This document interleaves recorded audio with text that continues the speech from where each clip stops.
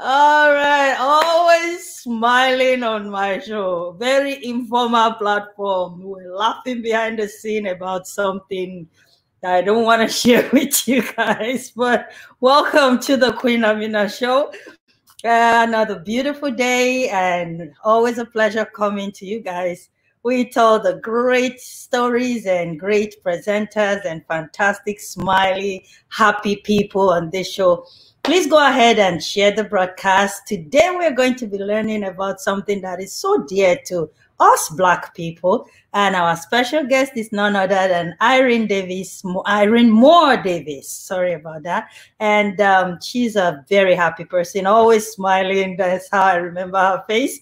And uh, you guys gonna see what I mean.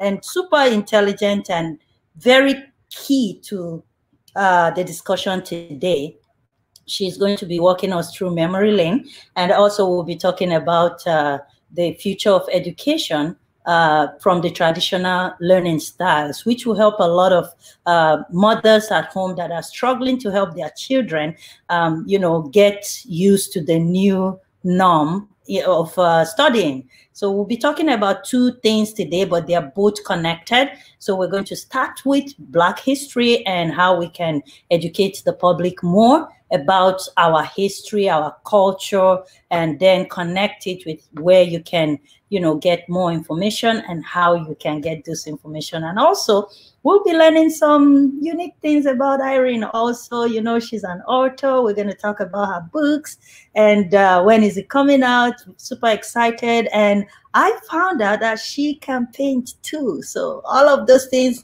and all the goodies are coming out. Share the broadcast so other people can um, benefit from there. Let's bring up my co-host and our guest all at once. Hello.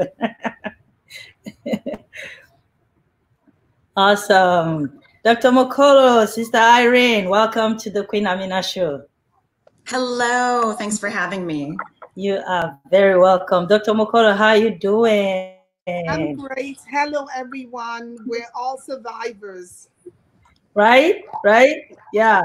Let's talk about that a little bit. How are things going with you guys over there now across the border?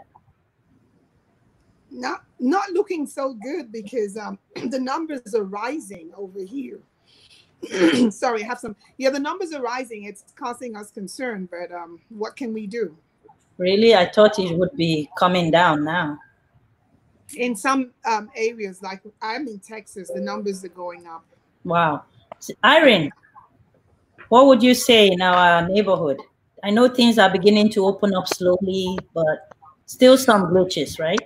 Yeah, I mean, in Ontario, quite a number of regions have moved to phase two. So they're starting to reopen barbershops and salons and restaurants with dine in services and so on. But here in Essex County, where I'm located around Windsor, um, we're still in phase one. And one of the reasons for that is that we have so much um, uh, difficulty in terms of our migrant worker population on the agricultural operations in Essex County. So many of them, unfortunately, have contracted the virus due to the living conditions in which they're kept. And uh, unfortunately, we're still seeing a rise in cases in our area. Wow. So everyone out there still, you know, don't cut the cord of um, keeping safe, six feet uh, distancing, washing your hands keep it going, guys. This is real. It's serious. So it's not over. It's not over. Yeah. So I see a lot of people um, going by the riverside, Irene. We have uh, Detroit River close to where we are, and they're all out there, no distancing, no masks, nothing. And I'm like, whoa, okay, you know. But anyways, we don't do trending topic on this page, but we like to at least keep people updated to show that we have concern for our people so we're not ignoring what is going on. So, Irene, you were born in Windsor, Ontario, and you're an educator, a historian, an author, and most of all, an activist who, who frequently you're speaking about the need to educate our society. Please tell our audience some more about yourself so that they're comfortable why you are the right person to speak about the topic today. Oh, goodness. Well, I mean, I can speak about both topics because I have experience with both. I mean, in terms of Black history, I've been involved in sharing and researching Black history for many years. I was born into a family that loved Black history. My mother, my grandmother, and my great grandmother were all local historians. And not just I, but many historians from across North America have made ample use of all of the archival materials that they collected and restored and preserved over the years. So we're very fortunate to have a lot of Black history materials through those three family matriarchs. But personally, I um, I studied English with a minor in history. English and history were my teachable subjects, and I uh, have uh, written both history and poetry and have published a number of items in both areas. In terms of history, I have published a chapter in an award winning book called A Fluid Frontier Slavery, Resistance, and the Underground Railroad in the Detroit River Borderlands. And that was published by Wayne State University in 2016. And I have a new book that will be coming out either later this year or early next year called Our Own Two Hands A History of Black Lives in Windsor from the 1700s Forward. And also, in terms of my role professionally, I'm the manager of continuing education and online learning and English language programs at St. Clair College here in Windsor. So I have oversight of our online programming, and I also teach an online Underground Railroad history course there. Awesome. Thank you so much. So, guys, I did not choose the wrong person to be talking about this topic, obviously. So, Irene, why is Black history important? You know, I think that there's an increasing understanding of its importance over these last few weeks. Um, you know, with the unfortunate, very sad, very appalling martyrdom of George Floyd in Minneapolis, I think a lot of people have awakened to the fact that there are still prevailing stereotypes in North American society and really around the world, wherever people from the African diaspora are.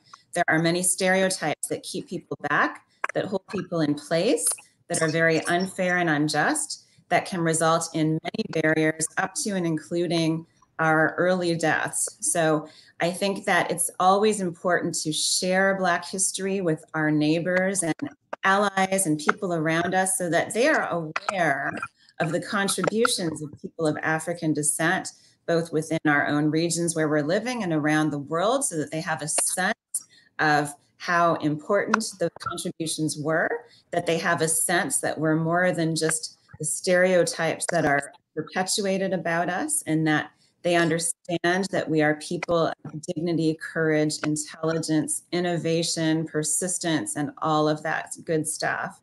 But I think it's also important for us to know our own history.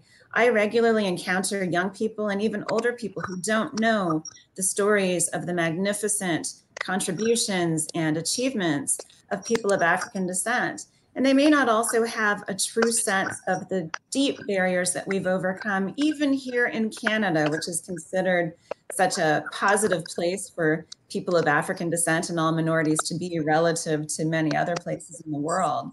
So it's important to get those stories out there. And I think right now it's more important than ever. Thank you so much for that. Um, we talk about Black history, and you just spoke about how um, uh, powerful, how resilient Black people are. In Canada, the first Black person that actually broke off of slavery that came to Canada landed in Nova Scotia, 1802. I think, and um, and uh, one of the ladies actually came through where we live now. That is such a historic uh, escape and freeing so many other slaves. And you have told this story time and time again. Would you please share with us the first person that came to the Underground Railroad in Windsor? Well, you know what? That's a tricky question to answer, and I'm going to tell you why. When we start thinking about the Underground Railroad, we often think of it as something that occurred in the 19th century because we all know that sort of the uh, the heyday of the Underground Railroad, people coming from United States from chattel slavery to Canada, occurred between the 1830s and the 1860s, and it mm-hmm. occurred in that period because Canada or the British Empire abolished slavery August 1st, 1834, and the Americans didn't abolish slavery until January 1st, 1863. So you've got that window of time when many thousands of African American, formerly enslaved, self emancipated people made their way here to the British North American side. But way before that, there was slavery all throughout North America. There was slavery here in Canada as well. Sometimes, mm. sometimes people who were enslaved in Canada actually made their way into the United States to escape. So we wow. have stories of people fleeing from this area, southwestern Ontario, to Michigan or Ohio to find their freedom. But we also know that many individuals of African descent made their way here to Canada to seek freedom long before the British Empire actually abolished slavery. So think about that. We know that in even the late 18th century, there were people coming into British North America, or what we now know as Canada, to escape from slavery. Around here in what's now Windsor, one of the most famous examples of a person or actually a family group crossing into Canada to be free is an amazing family named the Denisons. So, hmm. Peter and Hannah Denison were enslaved in Michigan by one of Michigan's biggest slave owners. And they were released. Peter and his wife Hannah were were given their freedom, but the slaveholder kept their children in slavery. So I mean, imagine that you're free, but you can't go very far. Your kids, your minor children, are still enslaved. And wow. Peter and Hannah Denison, like many enslaved people, again against the stereotypes, were highly intelligent individuals, resourceful, resilient, and determined. So they found a sympathetic attorney and they took that slave owner to court to sue for the freedom of their kids. They were unfortunately unsuccessful. So, what they did next was what a lot of families had to do they took their kids and they ran. They escaped to Windsor, actually to Sandwich, which is now part of Windsor. And that was in 1806. So, I mean, that's a local example from these yeah. parts of uh, Canada. But there were certainly many individuals who ended up in Nova Scotia, in New Brunswick, and mm-hmm. in Prince Edward Island. They were formerly enslaved people from the United States who crossed over to the British side during the American Revolution. And when the British were unsuccessful, they fled with the British. They were able to receive some land and some, uh, you know, basic basic supplies in Nova Scotia, Prince Edward Island, and New Brunswick. And many of those, which we call the Black Loyalists of Atlantic Canada, many of those still have descendants in Nova Scotia, New Brunswick, and not so much Prince Edward Island today. But you know, there are these long-standing communities that a lot of people just don't think about. And I love going out east and visiting people of African descent in their communities and their museums in Atlantic Canada. It's a fascinating place, a fascinating history. Many it of those families yeah. have been around since after the American Revolutionary War. I was in um, uh, Winnipeg, and the mayor of uh, Winnipeg, um, Bowman, he took us on a tour to the Black um, Mandela Museum. And me, as a Black person, was uh, the first time I really connected with everything that's always been said. And when I saw that, then thanks to you guys here, always working with um, the community for the Amherstburg. Uh, uh, what is it called? The Amis, Amherstburg um, trip. Freedom Museum. Yes, with um, Aunt Lana, and yeah. I was privileged to go on one of the tours with her. And when I saw those things, you know, it is so important for us to go see these things rather than just hearing about it. When I saw those things, I felt connected even more. That wow, this yes. really happened you know and there's no reason not to to take the time and do that. Once this pandemic is over and you can make your way to see an exhibit or something do it. It's so important. I mean connect yourself with with the other members of the african diaspora that are in your region. There is not a mm-hmm. province or a territory in canada that doesn't have a black history society or a museum of some kind. And i have to say one of my favorite examples is the nunavut black history society They are doing amazing programming in a place that a lot of people didn't even realize had a Black population. So check those opportunities out. Yes, they are incredible. And they are definitely an organization worth checking out. So, guys, for those of you that don't know Nunavut, Nunavut is way up north in Canada, like close to the the igloos. That's where. So, you Americans, mind yourself. When you say we all live in igloos, Dr. Dr. Mukoro, mind yourself. we don't all live in igloos. oh, gee. yeah, but I was I, I was actually out there. This uh, anything I speak, I say here, most of it I personally experience it. My my um, family members, friends, took us to Atlanta in a in a mall, and we were in Atlanta mall.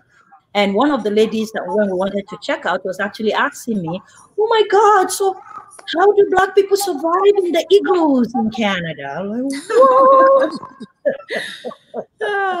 we have a lot of misperceptions of all kinds to deal with, that's for sure.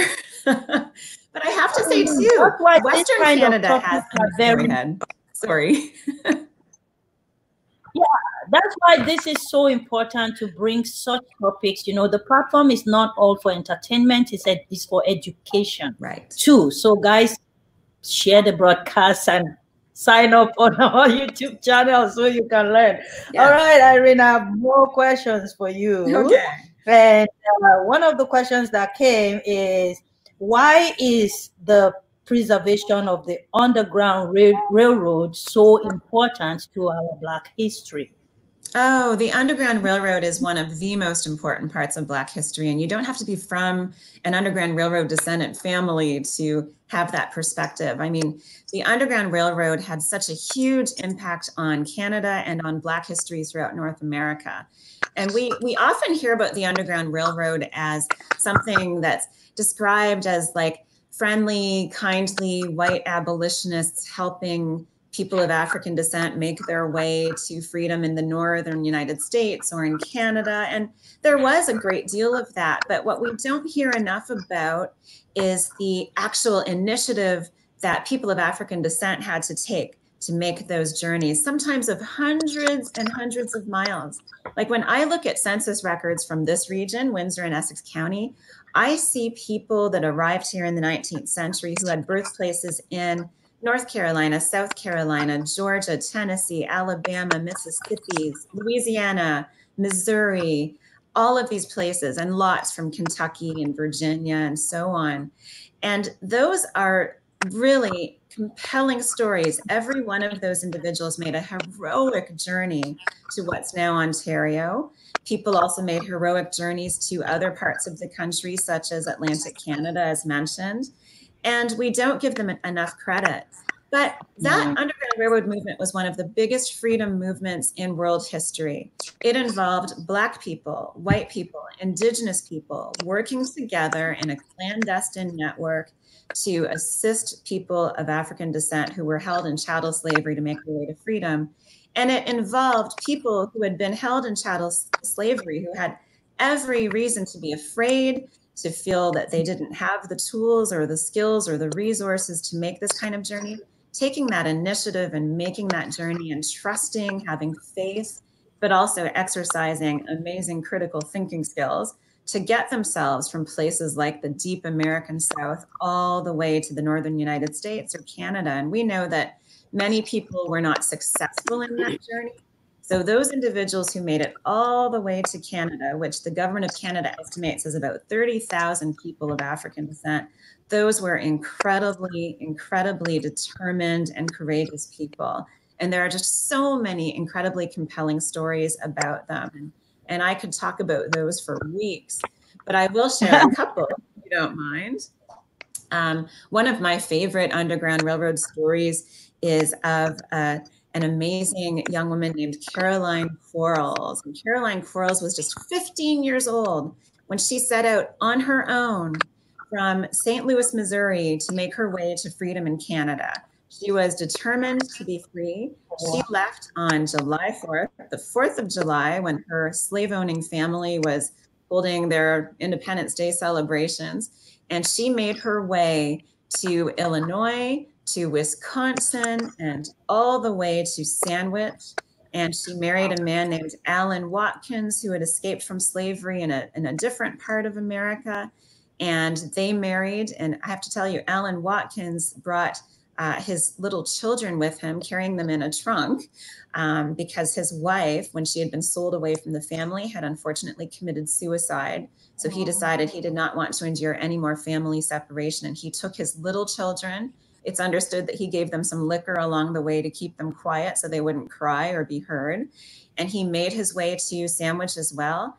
They married, and they are the matriarch and patriarch of the Watkins family, which is still one of the oldest Underground Railroad families in this area and a, a, very excellent family, a family that has demonstrated Black excellence through every generation of Canadian history. So they're a great example. You know, and I think of, of under, Underground Railroad um, ancestors of mine. I mean, the Dunn family, uh, my great great great grandfather, George Braxton Dunn, was held in slavery in Frankfort, Kentucky, and he made his way to Cleveland, Ohio and when the Fugitive Slave Act passed in the United States, which made it really difficult for people to remain even in freedom in the northern United States because they were at greater risk of being sent back into slavery, he and his wife made the decision to come to Canada. And you know what? Once he got here, he became, uh, he set up a successful shop as a barber.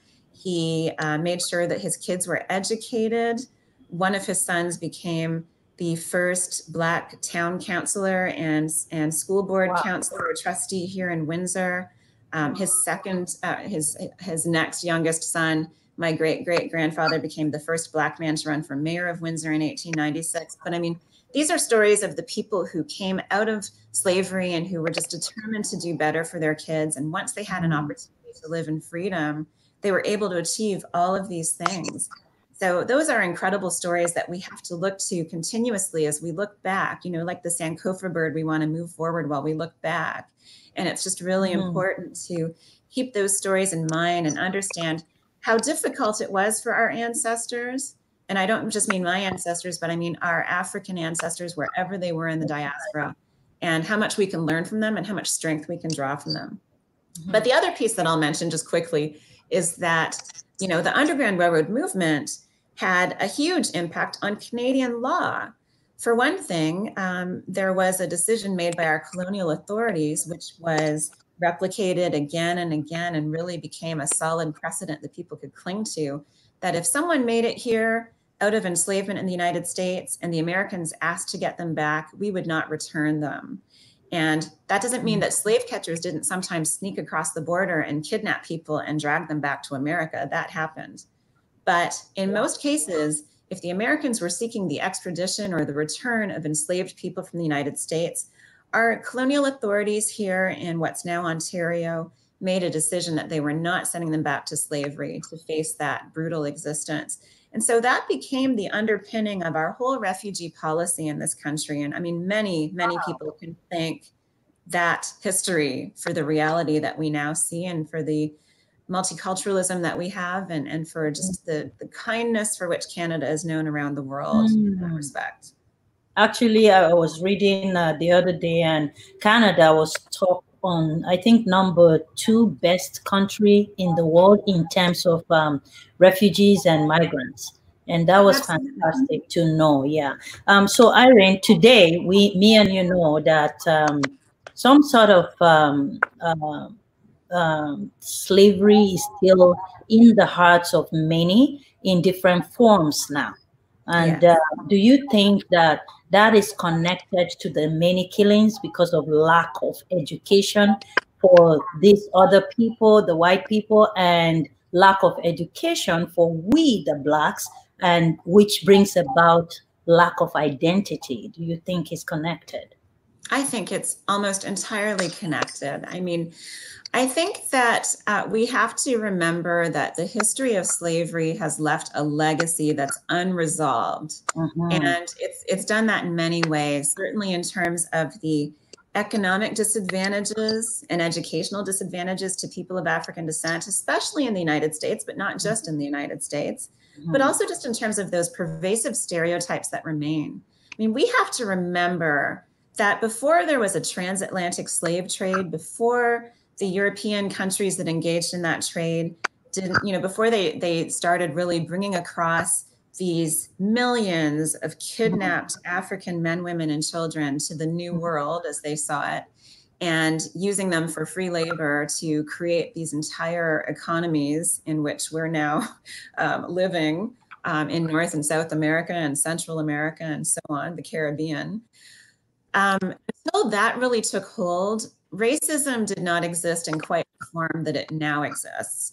So it became a necessity to prop up that economy and that practice and that system to create this mythology around the inferiority of people of African descent and to keep them in certain positions, to make sure that they were considered, uh, you know, inherently criminal, dangerous, unintelligent, but really great physically with, you know, all of those attributes that people still attribute to us today, like they're good in sports and they're great in music, but don't let them have these other positions. It's very, very scary. Mm. I mean, you see that come out as high as when Obama was running for president. The fear that and the terror that that provoked among certain segments of the population that a black man should have so much power. And unfortunately, even for people who don't perceive themselves as racist, many North Americans have absorbed those stereotypes. They're not processing them or thinking about them, they're just acting on them. And it has repercussions in terms of hiring, in terms of the assumptions of how well our kids can do in school, in terms of whether they should be streamed into academic uh, types of courses or to work with their hands. Not that there's anything wrong with working with your hands, but if you're meant to be a lawyer or an engineer, you shouldn't be sweeping floors. So, I mean, we, we have to look at all of that. We have to look at the fear that uh, takes people, uh, you know, by surprise and, and results in people calling police on any black person that they see when they're just jogging or walking or sitting on a bench or doing whatever they do. You know, it results in the deaths of people like Ahmaud Arbery. It results in police having a very negative stereotype within the police culture, within the law enforcement culture about people of color and making assumptions that result in high risk, much more dangerous situations for us when we're pulled over or questioned or whatever. It results in things like the death of George Floyd. Keep mm. in mind that it wasn't just white officers that were standing there that day. There was an Asian American person and there was even an African American person. And those were law enforcement officers that also participated in that crime, in that murder, and were accessories there too, and did not stop it because of pervasive stereotypes that have infected even people of African descent. Some of us are holding some of these stereotypes about other people of African descent. So mm-hmm. we all need education to get over this hump. But we also have to understand the economic roots of this system of racism and the systemic racism, the codes and the discrimination, the housing controls, the objections to people living in certain neighborhoods or doing kinds of work. It's all a, a mechanism of keeping people under control and making sure that there is a ready uh, labor force at the lower end of the economic uh, ladder. And we have to really fight against that, not just the law enforcement issues, but systemic racism that exists throughout every part of our culture. Hmm. So, guys, uh, just a quick uh, reminder for Zara Tours, um, uh, a tour guide out of uh, Tanzania that is supporting the Queen Amina show now. So, you want to go to Africa and learn more about the African culture Zara Tours will organize a very safe and uh, affordable tour trip for you guys. So to be able to do that, you can either connect with me on Facebook or YouTube or email me queenaminashow.com, uh, queenaminashow at gmail.com, or just simply visit uh. Make sure you said that you're coming from the Queen Amina Show. That way you get the discount. So I just want to uh, put that through for the people helping us because yeah it costs something to be broadcasting every day. So anybody supporting us we have to promote that person. I'll bring back our guest. Um, all right irene thank you so much. That's my special commercial break right there. All right so irene um, from everything that you've just said, clearly shows that uh, where you stand with uh, systemic racism. What do you have to like say about that? When somebody rises up in Canada and say there's no systemic racism in Canada, what what would you what are your thoughts on that? oh my goodness. There is all kinds of readily available information about the level of systemic racism that exists in Canada. And I mean, it has been documented by everybody from academic scholars to Statistics Canada, and certainly lots of information from the many Black organizations that exist throughout this country. And I mean, for anyone to argue that there's no systemic racism in Canada, that's just a really naive uh, position to take. Black we need to give them some books to read and go sit down with them for coffee and teach them that. yes. I mean, I know that recently two premiers of this great country, uh, the Premier of Ontario and the Premier of Quebec, both articulated this vision that there's no systemic yeah. racism. Doug Ford eventually did uh, walk that back a little, and I was glad that he had some kind of revelation about that. But there is systemic racism in every part of this country. And it exists in the education system. It exists in the law enforcement system. Uh, uh, system. It, it, it, exists in um, in all kinds of things in terms of employment. Um, just to cite a few examples, and I could go on and on. Black people, people of African descent, are far too overrepresented in our criminal justice system. And it's not because we are inherently more criminal than the rest of the population. We're a relatively small sample of the overall Canadian population, and yet we make up a huge proportion of the population in Canadian prisons.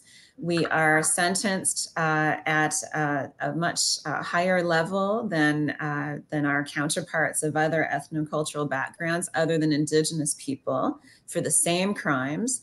Um, and it reflects an inherent belief often below the surface, below, beneath the person who's sentencing, beneath their conscious, that we're more dangerous and shouldn't be on the streets.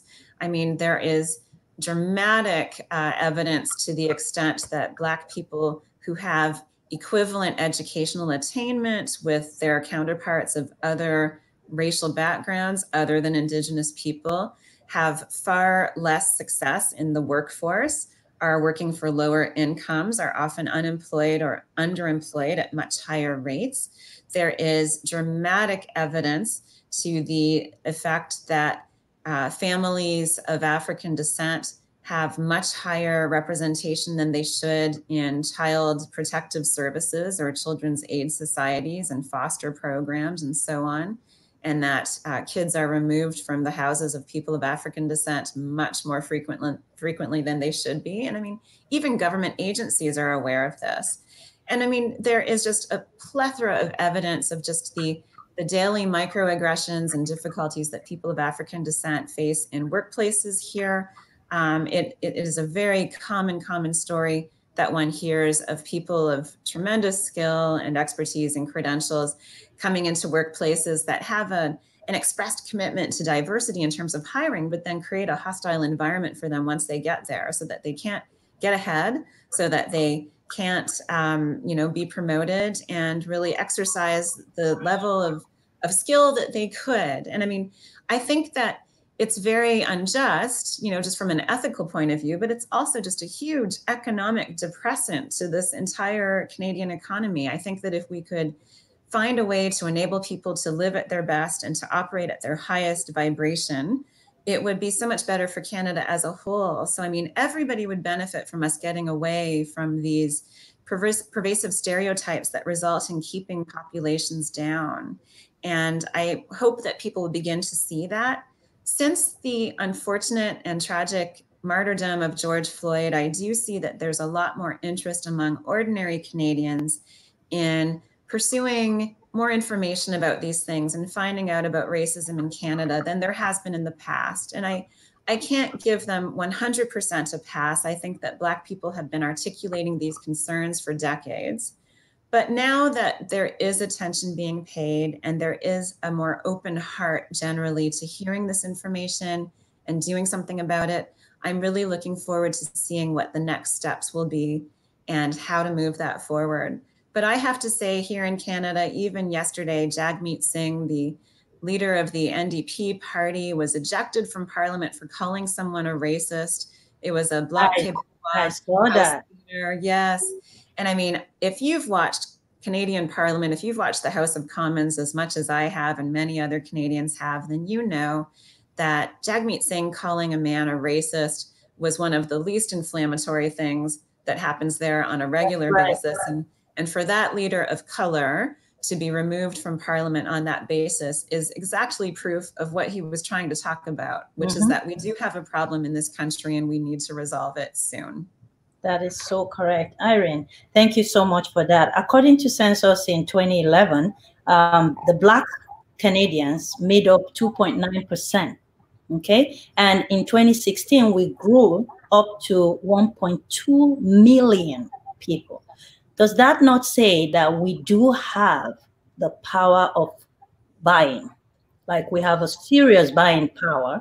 And if we are able to put this um, buying power together, do you think together we can, our voices will be louder than it's supposed to be?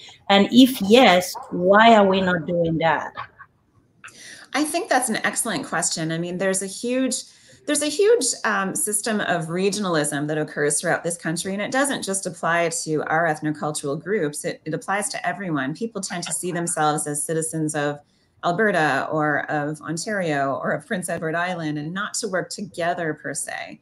And for the majority of Canadians from mainstream cultures, that may be fine. But I think that we, as people of African descent, do have to work together and and come to some sense of unity there are some organizations that are trying to bring people of African descent together. And I, I think that we should all really do a better job of checking them out.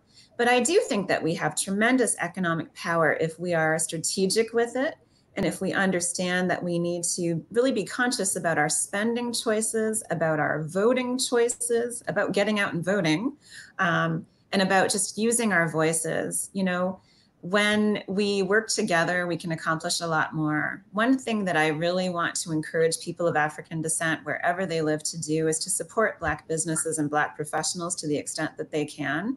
That is one important component of making things better for our community as a whole. I mean, I wish that everybody would support minority businesses and professionals as often as they can, just to make it a, a more level playing ground and an even uh, situation.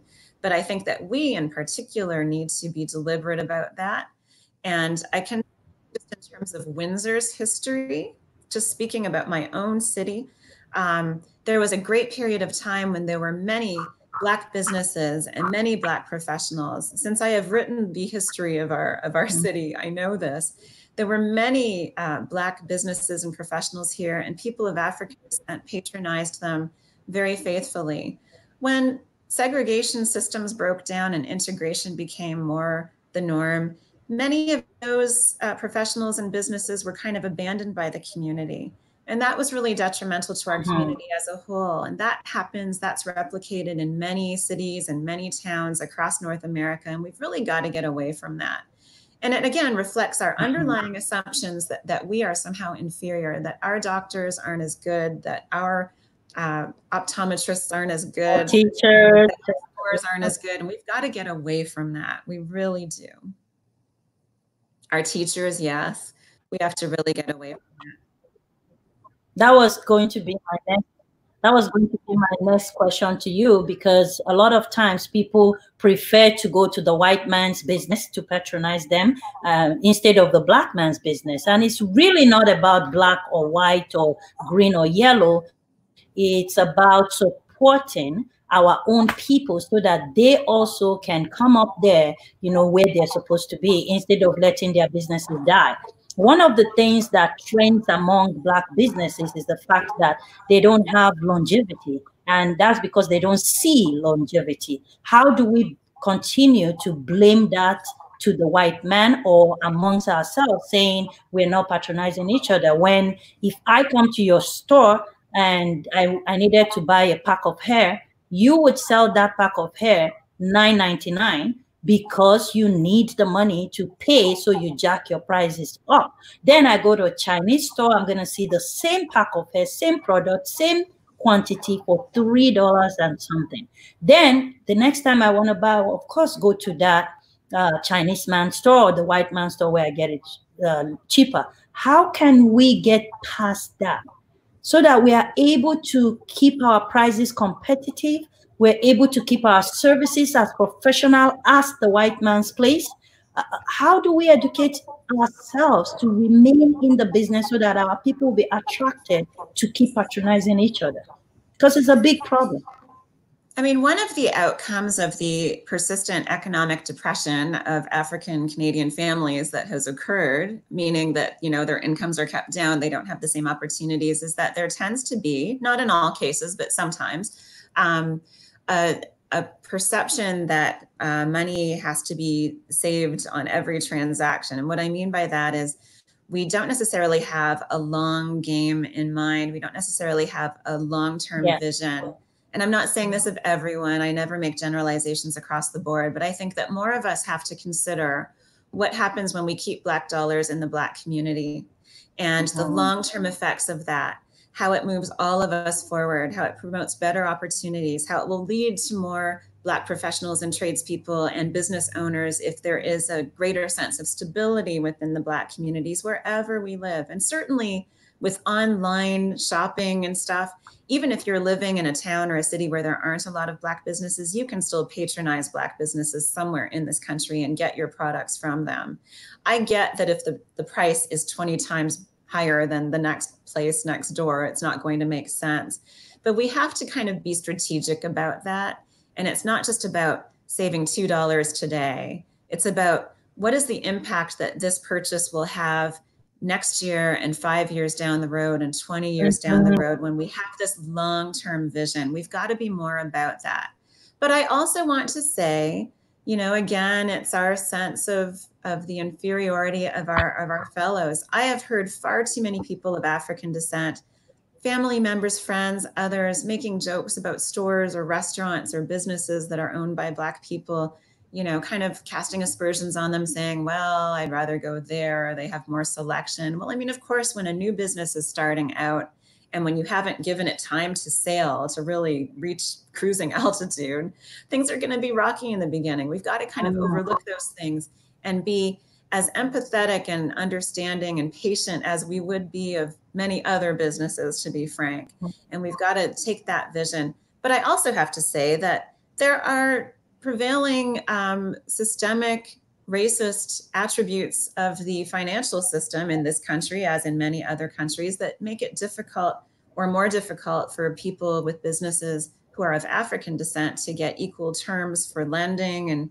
financing and things of that nature. So we've also got to keep that mm-hmm. in mind and work with our governments and with all of the bodies that that need to be involved on ending that discrimination that persists persists within the banking and financial industry too. Mm-hmm. Thank you so much, Irene. Our time is going, and I really want to touch on a lot of other stuff that you do because it's super important. Um, but I love the comment from um, Shani Marie. She said, I will be deliberate in supporting Black businesses from now on. Thank you so much, Shani. God bless you for that wonderful comment. And I've always, always looked for a Black store first in any city I go. I was in England uh, last year, uh, early last year, and we were we were walking on the street and super hungry with the lady that was taking us around, and she said, "Oh, let's just grab a um, a sloppy." So we went into the store, and I was super hungry, so I'm like, "Okay, let's just buy something to eat." She's not black. She's, uh, I think, um, uh, Spanish or so. And she's like, no, no, no, no, no, no. I'll take you to an African store. You got to spend that money in African store. And it just pop up something in my head that people are actually thinking about this. It's just getting us to begin to do it instead of getting to a country or a city and the first thing you're looking for is a burger or a Chinese buffet we should start thinking of an, an African or a, a store with uh, from an African descent. And you said something super powerful that it's not about the the the dollar micromanaging the how much I'm gonna pay, but is the effect of what is gonna have down the road in that place you're spending the dollar. So are you rather do you rather empower these people that continuously put us down or you want to empower and support your own so that someday we'll be able to have a voice. So thank you so much uh, shani for that. So one of the slogans today that we're going to use is be deliberate in supporting black businesses. Be deliberate in buying books from black authors. Be deliberate in in in going to um, you know, to support Black history in any city that you are. Which, speaking about author, Irene, you are an author and uh, you've written some books, you've co-written some books. Tell us a little bit about that, and we go into the learning, the more the learning in the 21st century, because the Black history we're talking about has to do with a lot of education too. And the traditional learning system, me and you know that that's not going to go on anymore. So, talk to us about your book and let's go into um, the new era of learning and how people can get some of your books. Yeah, so I am so uh, I'm so thrilled with the wonderful array of great publications that have come out recently regarding Black history and culture in Canada, and I'm happy to have participated in some of them. Um, but I think that there are many excellent reading lists that have been posted online uh, lately. So I encourage you to look up best Black books in Canada, you know, list of Black Canadian books, uh, things of that nature, to to see what else there is out there that you can read uh, with self isolation, I think a lot of us have more time to read. So, this is a good time to get started on that if you're interested. So, books in which I have been involved I published a chapter uh, about uh, Essex County Black history and a great book called A Fluid Frontier Slavery Resistance and the Underground Railroad in the Detroit River Borderlands. And that was a Wayne State University Press publication, and it was edited by the great Karolyn Smardz Frost and Veta Tucker. And I I highly recommend that book, not just for my chapter, but for all of the chapters. It is very eye opening. And you can order that through um, Chapters Indigo or at your local bookstore. I always support local bookstores. Or you can get it through Wayne State University Press directly. And the book that I'm writing now, that I'm finishing up, is called Our Own Two Hands A History of Black Lives in Windsor, the 1700s Forward. And it will be coming out later. I'm spending this summer making the final revision. So I'm super excited about that project. I've been working on it since 2016 and really looking forward to sharing that local history of honestly, I live in a fascinating place. We have a fascinating history here. And it goes back to the first enslaved Africans who lived here in the 1700s, the United Empire Loyalists of African descent who, who came here after the American Revolution to Windsor and Sandwich and the places where many of us live now, to the Underground Railroad descendants and free people of color who came across, to the Caribbean and African populations that joined us here in the Windsor region. So, looking forward to that. So, it's not out yet, but once it is, uh, I will certainly let everyone know. And then there are some other great publications. The League of Canadian Poets recently published a wonderful anthology of Black Canadian poetry, and I have a poem in that too. So I definitely uh, recommend that. It's called the, These Lands, and you can order it from the League of Canadian Poetry. Awesome. There's a, a question or a comment, uh, Kimberly Simmons.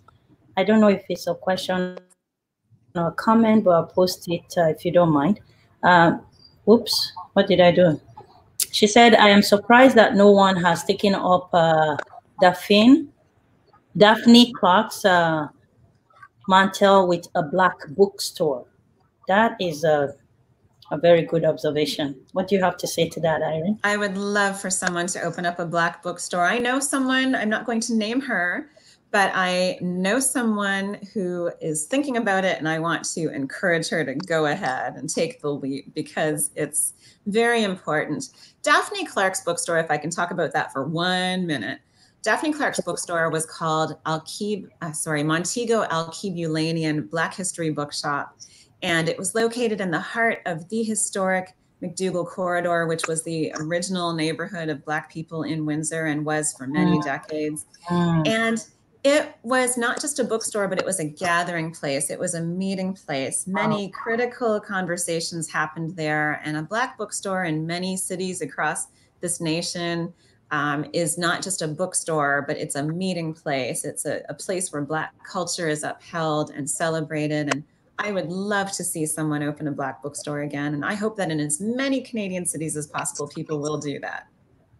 Awesome. So, so um, I, Dr. McCall, you le- let me. I'm gonna. Keep, you just need to wind me, and I keep going. So please. I just wanted.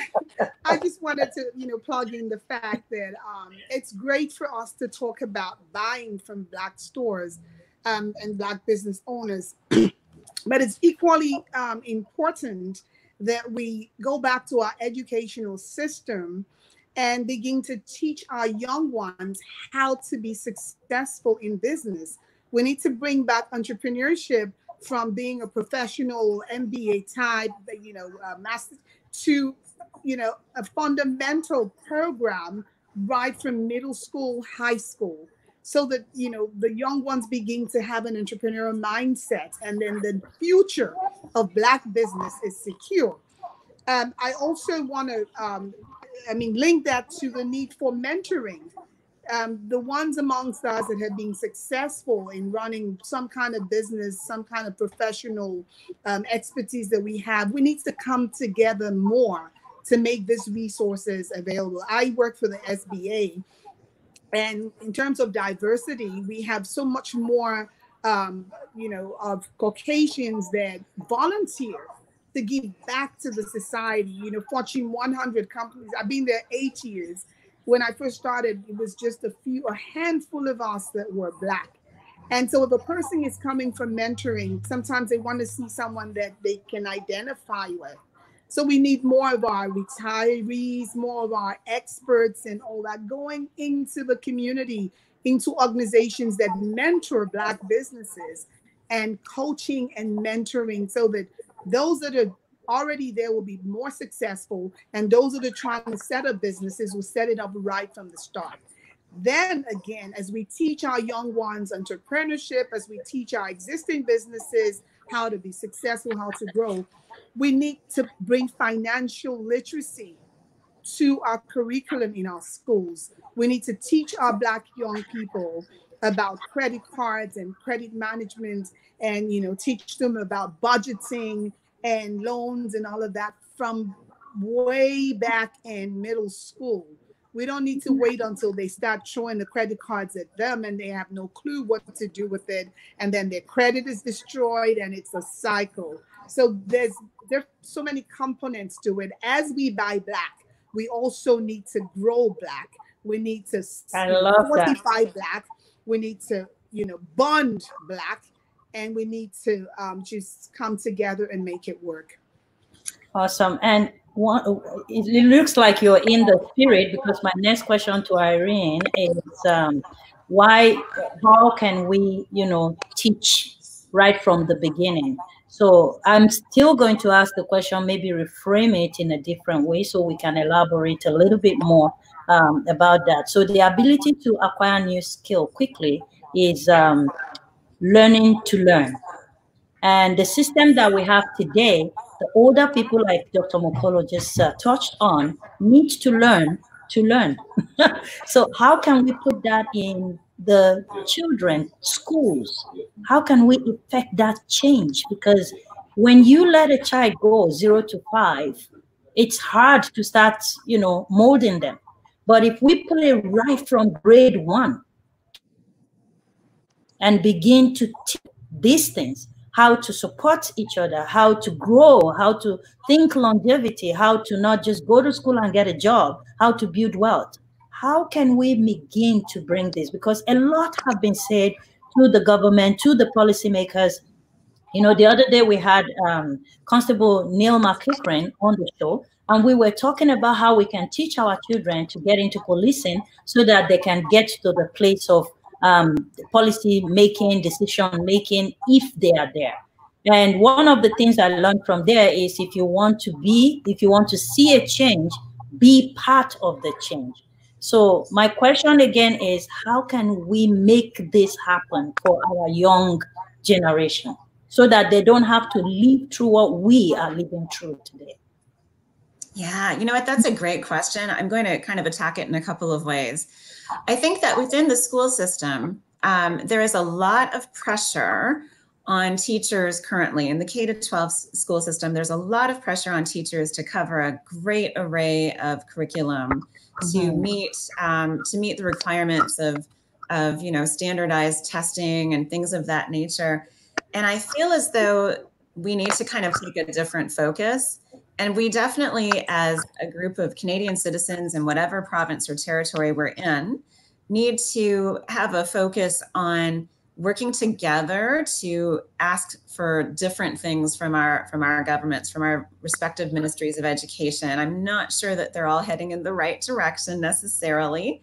Um, there's so much pressure on covering content that it's really difficult for teachers to to focus on those so-called soft skills that really are so essential for success in in later life in the workplace in post-secondary education and so on.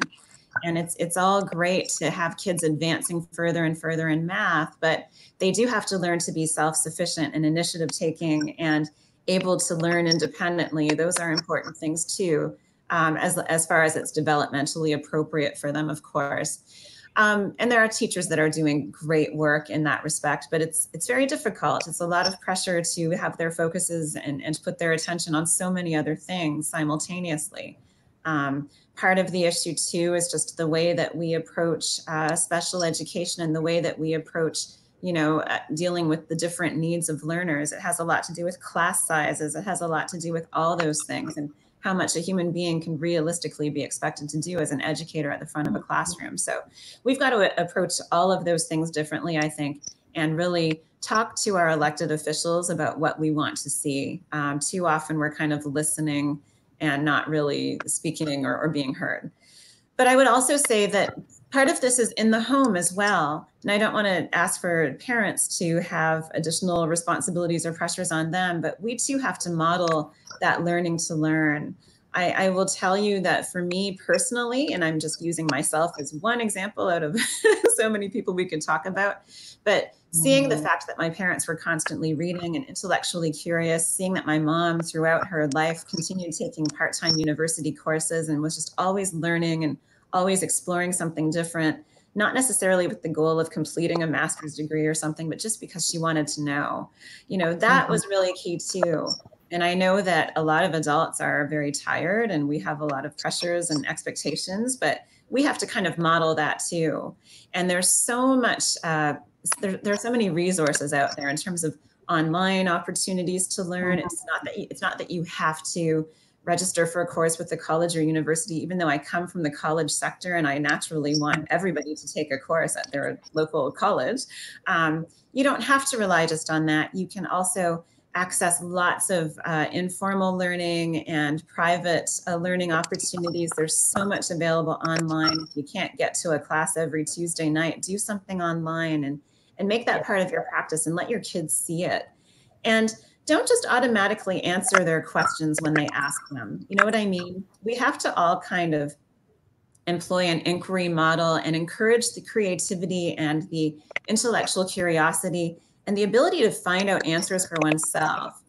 I can tell you, as someone from the post secondary sector, that there are many, many examples of young people that we see coming in who have been raised by great parents with the best of intentions, who have answered every question for them and never really encouraged them to find out for themselves. My children come out to I hear this one. It didn't come from mama oh, or it came from guests. so that so that this, this kid or this because I sorry to cut you off, but I just got super excited with what you're saying. When my children ask me questions, the first thing I tell them, I said, go do the research and bring back what you found. Right. And then I will help you. Kids today have access to more information than they have ever had before. It's not all good information. You have to teach them about media literacy and telling what's just yeah crazy article and what's real. Uh-huh. There's lots of information out there they can access themselves. Yeah.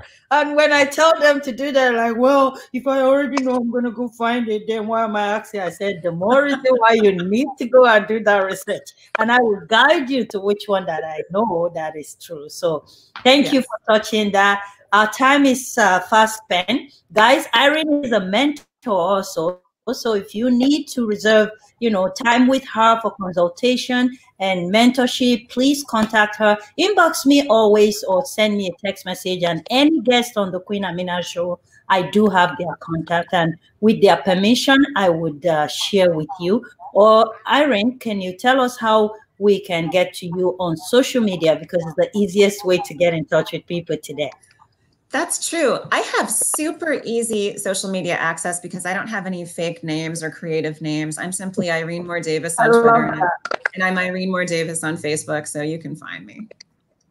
Awesome. So, what are some of your final thoughts if uh, Dr. Mokolo don't have any question for you anymore before I let you go? Dr. Doctor, do you have any questions? Um, well, just to say, I've learned so much, and I appreciate you know your sharing, uh, your wealth of experience. I learned so much. Awesome. So, Irene, your final thoughts and whatever you need to advise us or share with us, please take it away.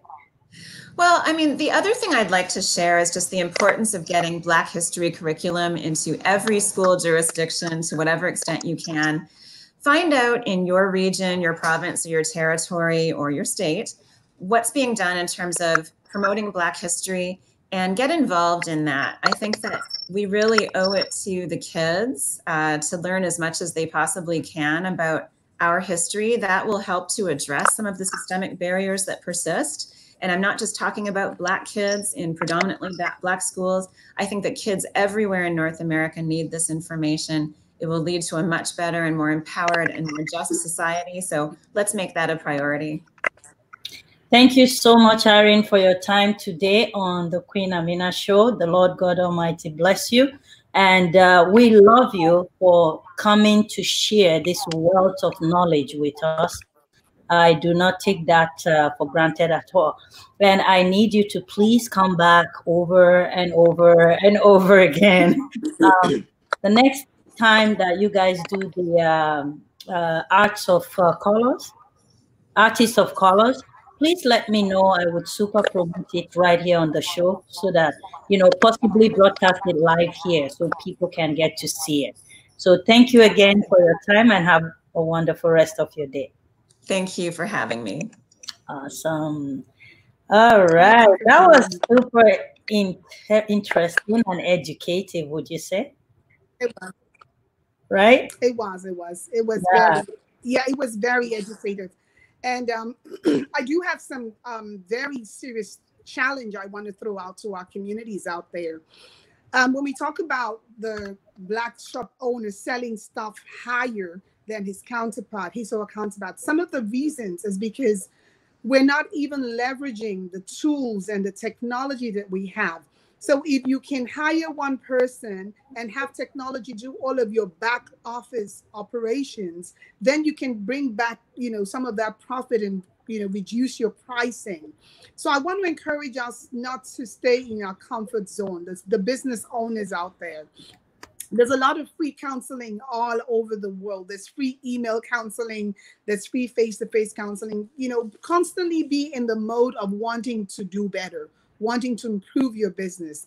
You know, there's so many tools that are out there that can increase your profitability, reduce your costs, so you can better serve your communities as they decide to buy black. To our school system, I'm saying let's bring financial literacy to our curriculum as early as possible so we're growing our black kids in the right um, you know uh, mindset and mind frame as far as their spending their expenses and all that let's teach more soft skills and let's not leave it all to the educational system. Parents civil uh, um, groups community groups social groups. Instead of us you know always celebrating something how about we have educational parties? How about we have training parties? When we come together let's incorporate some kind of learning into our social gatherings. That if one person knows how to do zoom teach somebody else. If one another person knows how to, um, you know, do accounting or whatever, teach someone else, and our communities will grow much stronger from that. Um, even as we advocate buying black, we have to put all of this, all the structures in place. Thank you so much, Dr. Mokolo. It's always fun to have you. I love your final thoughts all the time. And we love Dr. Mokolo. Come on, guys, give cheer. We love Dr. Mokolo. Thank you so much. Tomorrow, same time, same place, 2 p.m. Eastern Standard Time. And our guest is another interesting another very, very interesting uh, guy. He's a cancer survivor, and his story is super fascinating. So I hope you guys will join in tomorrow just to hear how powerful the mind is. All of what we're talking about has to do with here mindset. This guy literally healed himself from here. Super powerful story. So we'll see you guys tomorrow on the Queen Amina Show, 2 p.m. Eastern Standard Time. Until then, love yourself, love Queen always, and share some itty bitty bit of it with Dr. Mokoro. I'm going to Tanzania soon. Good for you. I'm going. Zara Travels, everybody. Zara Travels. Yes, Zara, tra- uh, Zara Travels. ZaraTours.com. Zara Tours. Okay, Zara Tours. Com, yes. I shared some of the videos. Did you see it? Go on my page. Okay, good. God bless you guys all. We love you. Thank Bye, you. everyone. Bye.